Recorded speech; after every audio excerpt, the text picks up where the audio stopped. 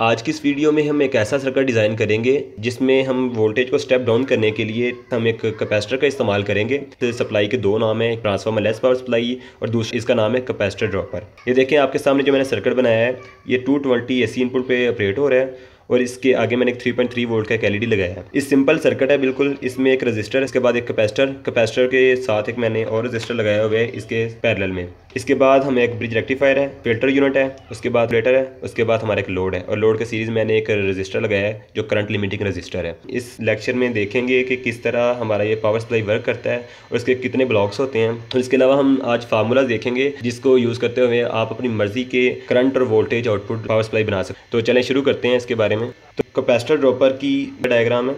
देखिए, इसमें पाँच ब्लॉक्स हैं। पहला ब्लॉक हमारा एक रजिस्टर है। दूसरा हमारा ब्लॉक है, वो एक कैपेसिटर ड्रॉपर है। यानी इसमें हम एक कैपेसिटर के ज़रिए वोल्टेज को ड्रॉप करवाते हैं। इसके बाद जो तीसरा यूनिट है ब्रिज रेक्टिफायर है। यानी कि जो यहाँ से वोल्टेज स्टेप डाउन होकर एसी वोल्टेज आ गए हैं, ये रेक्टिफायर उसको डीसी में कन्वर्ट करता है। इस डीसी में कुछ एसी के एग्ज़ाम मौजूद होते हैं, जिसे हम रिपल्स कहते हैं। इन रिपल्स को रिमूव करने के लिए हमने एक फ़िल्टर यूनिट लगाया है। फ़िल्टर यूनिट के तौर पर हमने एक कैपेसिटर यहाँ पे लगाया है। उसके बाद जो हमारा फाइनल यूनिट है, वो हमारा है वोल्टेज रेगुलेटर यहाँ मैंने seven eight zero five voltage regulator इस्तेमाल किया है। यानी ये जो सर्किट है 220 इनपुट एसी वोल्टेज को 5 वोल्ट डीसी में कन्वर्ट कर रहे हैं। तो ये इसकी मेन ब्लॉक डायग्राम है। कुछ फार्मूला देखें आपके सामने। ट्रांसफॉर्मर लेस पावर सप्लाई के फार्मूलाज सबसे पहले आपको ये पता होना चाहिए कि आपकी इनपुट वोल्टेज जिनको आपने स्टेप डाउन करना है, वो इनपुट वोल्टेज कितने हैं। यहाँ मैंने लिखा है कि मेरे पास जो इनपुट वोल्टेज जो मैंने सर्किट बनाया है, उसमें वीएस जो है supply voltage two twenty volts हैं।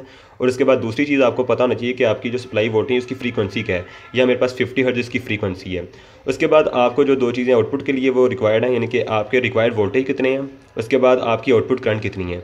या मैंने सेवन वोल्ट लिखा है, क्योंकि 1.6 वोल्ट हैं, वो हमारे ब्रिज रेक्टिफायर में ड्रॉप हो जाते हैं, और बकाया जो एक रेगुलेटर लगाया है सेवन एट ज़ीरो फाइव बकिया वोल्टेज इसमें ड्रॉप होंगे, और उसके बाद हमें फाइनल पे जो है ना, वो मिलेंगे फाइव वोल्ट ये मैंने फार्मूलाज लिखे हैं, इसके जनरल फार्मूलाज हैं, आप इनको यूज़ कर सकते हैं अपनी मर्ज़ी की पावर सप्लाई डिज़ाइन करने के लिए। यानी कि आप अपनी मर्ज़ी के इनपुट वोल्टेज डालें वन टेन है टू ट्वेंटी है फ्रीक्वेंसी आपकी सिक्सटी हर्ट्ज है, जितनी भी है, आप यहाँ पर डालें और अपनी मर्ज़ी की पावर सप्लाई डिज़ाइन करें। सबसे पहले देखें आर फाइंड करते हैं कि हमें कितनी रजिस्टेंस चाहिए। उसके लिए मेरा फार्मूला ये है कि input voltage minus required voltage यानी कि जो इनपुट वोल्टेज रिक्वायर्ड वोल्ट का डिफरेंस है, उसको हम डिवाइड करेंगे आउटपुट करंट पे।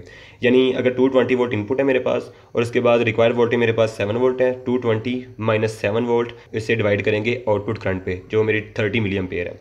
जब ये हमारा इसका आंसर आ जाएगा इसकी रेजिस्टेंस की वैल्यू निकल आएगी। आप अपनी मर्ज़ी से कोई भी इनपुट वोल्टेज डालें और आउटपुट वोल्टेज और करंट जो है, वह यह डालें, जो इसका आंसर आएगा, आप उसको इस नेक्स्ट फार्मूला में पुट करें।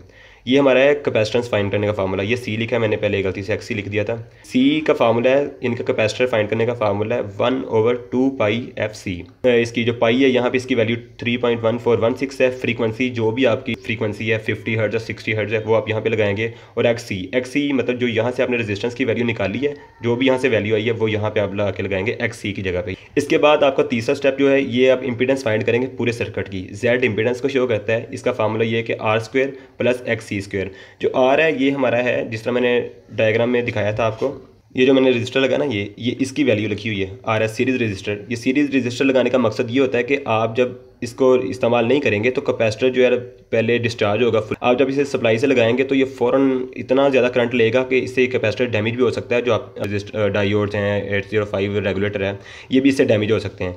तो इसको हमने लिमिट करने के लिए इसके सीरीज़ में एक रजिस्टर लगाया है। इसकी value normally three hundred ohm के दरमियान कहीं भी रखी जाती है।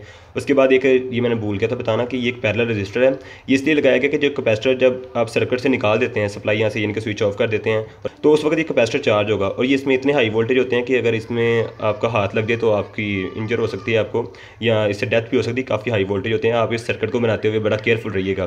पैरल रजिस्टर का काम ये होता है कि जब यहाँ से आप इनपुट वोल्टेज हटा देते हैं तो ये इसको एक डिस्चार्ज पास फ्राम करता है, यानी कि कैपेसिटर खुद ब खुद डिस्चार्ज होता है इस रजिस्टर की वजह से। नॉर्मली इसकी वैल्यू वन मेगा होम के करीब रखी जाती है। अगर इसकी वैल्यू कम रखेंगे तो हमारा ये सर्किट सही तरह वर्क नहीं आगे करेगा। ये रजिस्टेंस जो सीरीज़ रजिस्टेंस आपने लगानी है, उसकी वैल्यू डालनी है आपने नीचे। फोर फिफ्टी होम का रजिस्टर था मेरे पास। एक्सी की वैल्यू जो आपने यहाँ से निकाली है यहाँ पे डाली थी वैल्यू वही वाली वैल्यू आपने यहाँ पे लगानी है। सेम आर की वैल्यू आप यहाँ पे लगाएँगे। यहाँ पे लिख दें लिखता हूँ R is equal to X C यानी इस केस में जो ये रेजिस्टेंस फाइंड करेंगे, वो जहाँ जहाँ एक्स सी है, वहाँ पे आपको यही वैल्यू लगानी पड़ेगी। तो आप यहाँ आर के जो सीरीज़ रजिस्टर सीरीज़ रजिस्टर है आर एस उसकी वैल्यू उसके बाद आप जो एक्स सी है, यानी कि रजिस्टर की वैल्यू फाइंड की है, ये वाली वैल्यू जो जितनी भी आई है, वो आप यहाँ पे लगाएँगे। उसका स्क्वेयर लेके उसका अंडर रूट ले लेंगे। जो आंसर आएगा, ये आपकी निकलेगी सर्किट की पूरी इंपीडेंस उसके बाद आपका आ जाएगा करंट यानी कि आपका जो ये सर्किट डिज़ाइन आपने किया है, ऊपर जो कैलकुलेशन आपने की है, इसके बाद आप कितनी आउटपुट करंट इससे ले सकते हैं। तो input voltage minus required voltage जिस तरह आपने पहले शुरू पे किया था इनपुट वोल्टेज जितने भी आपके 220 वोल्ट या 110 वोल्ट्स हैं, और आपको रिक्वायर्ड वोल्टेज कितने आपको कितने वोल्ट आउटपुट पे चाहिए, वो उसका जो डिफरेंस आएगा, उसको जेड से डिवाइड कर दें ये वही फार्मूला है सिर्फ़ आर की जगह पे वहाँ हमने जेड लगा दिया बस। इसके आपको ये देख सकेंगे आप जो हमारा सर्किट डिज़ाइन हुआ है, ये कितने मिलियन पेयर तक करंट बर्दाश्त कर सकता है। नॉर्मली ये सर्किट जो है, ज़्यादा हाई एम्पेयर के लिए यूज़ नहीं किया जा सकता, क्योंकि इसमें लॉसेज बहुत ज़्यादा होते हैं। आप इसको कम जो रोड पर चलने वाली अप्लाइंसिस आप उन्हें इस सर्किट से ऑपरेट करवा सकते हैं। उसके बाद ये एक टाइम है time equal to T equal R C मैंने लिखा है। आर सी मतलब टाइम कॉन्स्टेंट है। ये टी ये क्या है, जो ये आपने रजिस्टर लगाया है पैरल में। कैपेसिटर को डिस्चार्ज होने में कितना टाइम लगेगा? यानी कि जब सर्किट से आपने सप्लाई उतार दी, उसके बाद ये कैपेसिटर कितना टाइम लेगा टोटली डिस्चार्ज होने में? अगर तो टी टू आर सी तो ये ये जो फार्मूला ये वैलिड है 63 परसेंट कैपेसिटर के डिस्चार्ज होने तक। यानी जो कैपेसिटर, जितने भी माइक्रोफेरेड का एक कैपेसिटर है, वो 63 परसेंट डिस्चार्ज होगा इतने टाइम में। आर जो है, जो पैरेलल में जो रजिस्टर लगाइए ये है R parallel resistor R P ये जो रजिस्टर लगाइए आर पैरेलल आर पी इसकी वैल्यू जो नॉर्मली वन मेगा हम रखी जाती है, मैंने आपको बताया, वो और मल्टीप्लाई जो आपकी कैपेसिटेंस की वैल्यू यहाँ से निकलेगी। जो आपकी कैपेसिटेंस की वैल्यू यहाँ से निकली होगी, वो आप लगाएँगे यहाँ पे लगा के सी की जगह पे। ये मैंने सिर्फ़ ऐसे लिखा था कि जो इसमें आर जो है ना, उसे हम एक्स सी कह रहे हैं। एक्स सी की, जहाँ जहाँ एक्स सी हम वहाँ पे आर की वैल्यू पुट करें, जो यहाँ से हमने निकाल ली थी। ये कन्फ्यूज़ ना होइएगा, ये आर एस है, ये आर पी है और आर ये है। ये तीन टाइप के रजिस्टर हम लगाए हैं। जो आर है, ये टोटल कितना हमारी रेजिस्टेंस बनी सर्किट की यानी कि कितने वोट हमने ड्रॉप करवाने ये उसके लिए? जो दूसरी रजिस्टर है आर एस सीरीज़ में, जो कैपेसिटर को शुरू पे बल्ट करंट जो गुजरता है, उसको रिमूव करने के लिए। उसके बाद जो आर पैरेलल कैपेसिटर को डिस्चार्ज होने के लिए जो रजिस्टर लगाया रहता है। तो ये 63 परसेंट डिस्चार्ज जो फाइंड करने का ये फार्मूला ये है। उसके बाद अब चाहते हैं कि टोटल फाइंड करें कि कितने टाइम में ये हमारा कैपेसिटर टोटल डिस्चार्ज हो जाएगा। तो उसके लिए आपको जो टी की जो वैल्यू यहाँ से आएगी, इसको फाइव से मल्टीप्लाई करना है तो आपको टाइम निकल आएगा सेकेंड्स में कितना टाइम आपको लगेगा कैपेसिटर को फुल डिस्चार्ज होते हुए। इससे नेक्स्ट हम देखते हैं कि एग्ज़ाम्पल जिससे आपको ये सारी कैलकुलेशन अच्छी तरीके से समझ आ जाएँगी। ये देखें एग्ज़ाम्पल इस तरह से है कि supply voltage two twenty volts हैं और फ्रीक्वेंसी फिफ्टी हर्ट्ज़ है। रिक्वायर वोल्टेज आपको फाइव वोल्ट्स हैं और जो आउटपुट करंट आपको चाहिए वो ट्वेंटी मिलियन पेयर है। जो सीरीज़ रेजिस्टेंस आपने लगाई है, वो टू एटी ओम की है और पैरल रेजिस्टेंस जो कैपेसिटर के अक्रॉस आपने लगाई है डिस्चार्जिंग के लिए, उसकी वैल्यू वन मेगा ओम है। ये बात ध्यान में रखें मेगा की वैल्यू जो होती है, वो होती है टेन रेज पावर सिक्स अच्छा सबसे पहले हम देखेंगे ये फार्मूला जो सबसे पहला फार्मूला था हमारा फार्मूला शीट में देखें। R equal to V in minus V required over I out देखिए वी इन हमारे टू ट्वेंटी वोल्ट्स हैं तो वी रिक्वायर्ड हमें वो फाइव वोल्ट्स हैं, उसको डिवाइड करते हैं, हमें आउटपुट करंट कितना चाहिए। ये मिलियम पेयर में, जब इसे आप जो कन्वर्ट करेंगे एम्पेयर में तो वो उसकी वैल्यू आएगी zero point zero two ampere आप इधर एम्पेयर में वैल्यू डिवाइड करेंगे ला के इससे हमारी जो आई है, वो वैल्यू वो आई है टेन सेवन ज़ीरो फाइव यानी इतने ओम हमारे पास जो है ना रेजिस्टेंस आ गई है। इस रेजिस्टेंस को हम जो मैंने आपको पहले बताया था, जो ये रेजिस्टेंस आ गई है आर इसे हम एक्स सी की जगह पुट करेंगे। यहाँ पे रेजिस्टेंस पुट करेंगे ना एक्स सी की जगह पे, वो यही इसकी वैल्यू होगी ऊपर वाले आर की। तो अभी हमारे पास आई है टेन सेवन ज़ीरो फाइव इसको हम सी की वैल्यू में पुट करते हैं। सी इक्वल होता है हमारे पास टू पाई एफ़ सी यहाँ पे टू एज इट इज़ आएगा पाई की value three point one four one six है। फ्रीक्वेंसी आपकी जो है सर्किट में वो अभी है फिफ्टी हर्ट्ज और जो एक्स सी है, वो जो ऊपर से हमने कैलकुलेट किया है, ये वाला। ये एक्स सी की वैल्यू यहाँ पे लगाएँगे। ये देखें सेम मैंने लिखा है। Two multiply three point one four one six multiply by fifty multiply by ten seven five zero ये जो कैपेसिटर की वैल्यू निकली है, वो है zero point two nine six micro farad यानी इतना कैपेसिटर आप लगाएँगे तो आपकी ये जो रिक्वायरमेंट है, ये पूरी हो जाएगी। उसके बाद हम इंपीडेंस फाइंड करें कि जो हमने कैलकुलेशन किया या सही भी कि नहीं, इसको प्रूव करने के लिए।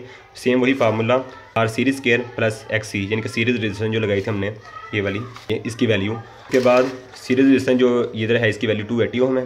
तो टू एटी ओम का square plus ten seven five zero जो ये वैल्यू निकली है रजिस्टर्स की, या एक्स की, उसका स्केयर इसके बाद हमारे जो आंसर बचता है, वो बनता है जो इंपीडेंस आती है, वो ten seven five seven ohm आई इसकी हम करंट फाइंड करेंगे, जो ये इंपीडेंस इतनी इंपीडेंस है, इससे हम कितना करंट आउटपुट पे ले सकते हैं।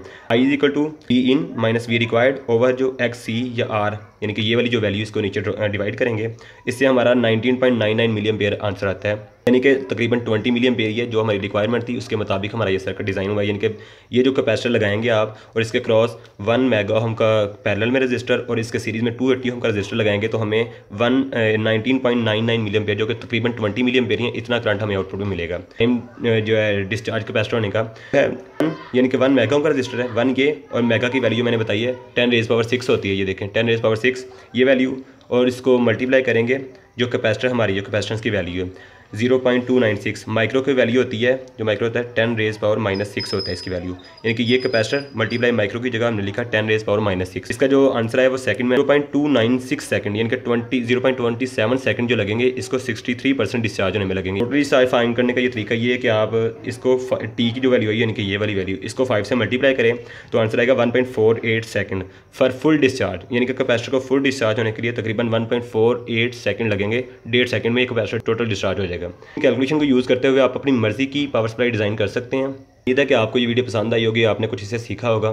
तो इसके लिए प्लीज़ आप हमारे चैनल को सब्सक्राइब कर दें और थम का बटन दबा दें और साथ बेल आइकन को दबा दें ताकि जब भी मैं नई कोई वीडियो अपलोड करूँ तो आपको उसका नोटिफिकेशन मिल सके। Thank you